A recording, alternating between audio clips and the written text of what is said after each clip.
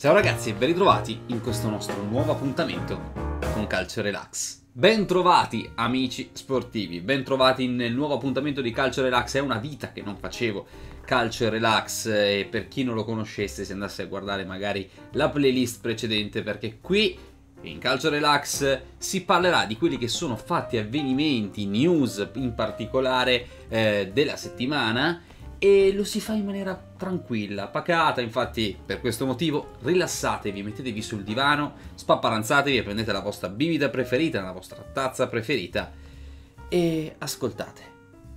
Mm. In questo speciale di Calcio Relax parleremo di eh, alcune news riguardanti i mondiali di calcio, infatti per questo motivo vi invito ad andare qui sotto in descrizione a scaricare OneFootball che è la miglior applicazione in assoluto riguardante le news sportive e riguardanti appunto anche le news sui mondiali di calcio. Mi raccomando ragazzi, e che cosa è successo? Cosa mi ha notificato OneFootball? OneFootball l'altro giorno mi ha notificato che eh, c'è un giocatore della Corea del Sud che tutti noi conosciamo visto che gioca anche nel Tottenham, tale Son appunto, che rischia seriamente di non dover più o meglio di non poter più giocare a calcio. Perché? Perché c'è una legge nella Corea del Sud che obbliga tutti coloro che sono diciamo under 30 alla leva obbligatoria. Leva obbligatoria che fortunatamente in Italia non c'è più, che noi avevamo eh, d'obbligo dai 18 anni in poi, ma in Corea del Sud purtroppo questa legge c'è ancora.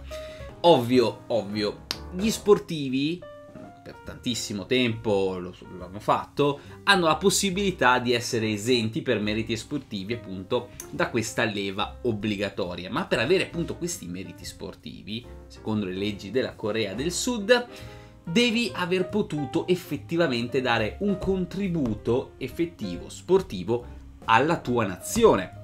Quindi non basta essere il miglior giocatore coreano in circolazione e giocare in Inghilterra, non basta quello bisogna che tu abbia un effettivo contributo alla tua nazionale.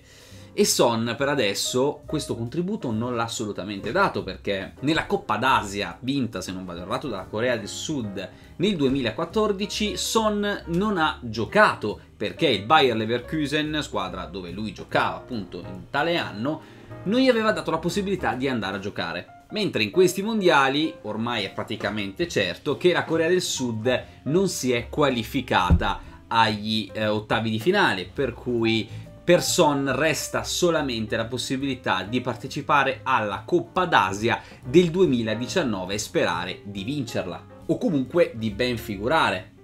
Mm. Pensate questa cosa, che adesso Son guadagna, sto leggendo, più o meno al mese sui 320.000 euro al Tottenham perché comunque è un ottimo giocatore. All'anno comunque saranno sui 3 milioni e mezzo, 4 milioni di euro. Mentre nella squadra della milizia dove lui andrà a giocare effettivamente diventando diciamo militare della Corea del Sud guadagnerà 100 euro al mese. Da 300.000 a 100 euro al mese. Direi che economicamente è una bella batosta. Ed è per questo motivo che l'altro giorno Son ha pianto negli spogliatoi dopo la sconfitta. È un giocatore che sicuramente non merita questa cosa, quindi speriamo effettivamente che la Corea del Sud o comunque il governo della Corea del Sud ci metta una pezza su questa cosa perché a che gli serve la leva obbligatoria non solo in questo momento in guerra, quindi è un giocatore che vale tanti soldi anche per il Tottenham, non sarebbe una bella notizia, anzi, anzi, credo che il Tottenham richiederebbe un risarcimento dei danni molto molto elevato alla Corea del Sud. Qualcuno dice, eh ma scusa ma non gli basta semplicemente restare in Inghilterra e fregarsene e non presentarsi mai più in Corea del Sud? Beh, no, non è così semplice la cosa perché in Corea del Sud sicuramente lui avrà dei familiari e ci terrà sicuramente alla sua terra, vorrà sicuramente ritornarci nella sua vita e rifiutarsi diciamo del, di partecipare alla leva potrebbe costargli addirittura il carcere per due anni. Quindi dai 21 mesi della leva obbligatoria al carcere direi che tra i due forse è meglio la leva obbligatoria. Anche se credo che qualcosa succederà.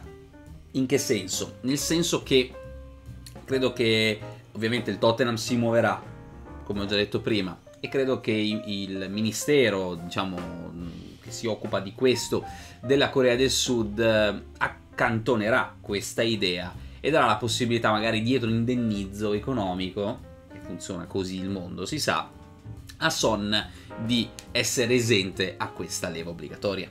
Voi cosa ne pensate a riguardo ragazzi? Seconda piccolissima curiosità, prima di chiudere, non ho potuto fare un video a riguardo qualche giorno fa, per quando era uscita appunto questa notizia, colgo l'occasione per parlarne adesso. A causa delle sanzioni da parte di Trump verso i paesi del sud-est asiatico, eh, la Nike è stata costretta a non poter più regalare le scarpe da calcio alla nazionale iraniana si sa come funziona nel professionismo, no? Tu giochi una determinata competizione, mi fai pubblicità, quindi io ti regalo delle scarpe che hanno un valore di 100-150 euro, non hanno un grandissimo valore per me, ma il ritorno, diciamo, pubblicitario è molto più alto, quindi io ti concedo la possibilità di poterle, diciamo, usufruire, di poterne usufruire, di poterne ma a causa appunto di queste sanzioni di Trump eh, la Nike appunto è stata costretta a non poter eh, appunto dare in concessione eh, queste scarpe ai giocatori dell'Iran che erano abituati comunque a giocare con queste scarpe. Immaginatevi voi giocatori professionisti abituati sempre a usare un determinato paio di scarpe mi vengono a dire guarda no non te le posso concedere per i mondiali. Quindi sei costretto ad andartele a comprare di tasca tua. Ovvio per un giocatore professionista che gioca un mondiale è poco e nulla economicamente, 100-150 euro sono solamente l'intero stipendio di son mensile da militare, ma cosa vuoi che siano? Però immaginatevi, voi calciatori professionisti che state giocando un mondiale dovete entrare dentro un negozio ufficiale lì in Russia e comprarvi di tasca vostra le scarpe da calcio, cioè insomma di professionale ha ben poco questa notizia. Fatto sta però che grazie anche a questa cosa l'Iran ha disputato un ottimo mondiale, veramente da alzare le mani, non le alzo troppo perché altrimenti mi cade tutto, mi si rovescia tutto e mi sporco. Prima di concludere ragazzi, concludo un attimino questo da bere. Ok, volevo soltanto chiedervi, farvi una specie di quesito che già sulla pagina Instagram, che tra l'altro trovate qui sotto in descrizione, eh, già conoscono. Grazie ai post partita di questo mondiale mi sono reso conto che effettivamente il mio canale non è incentrato su quello, o meglio, non lo vorrei incentrato su quello.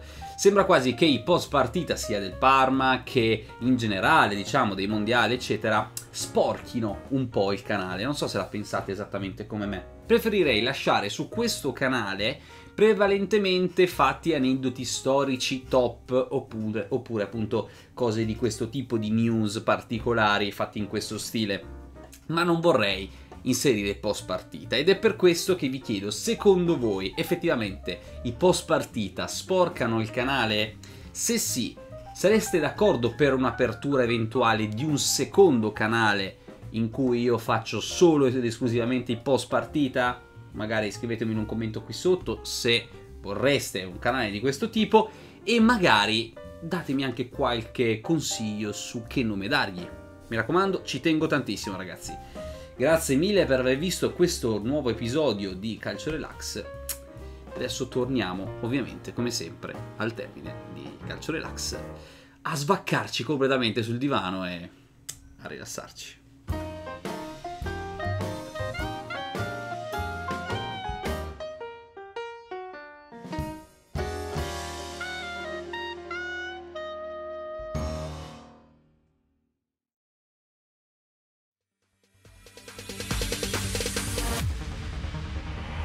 There ain't no stopping us.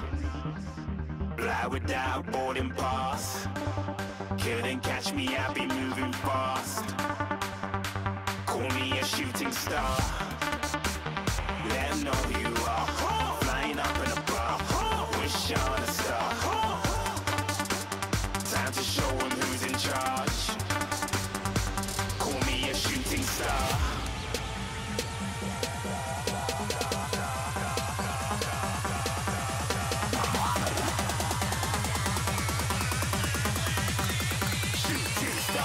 even get to bronze.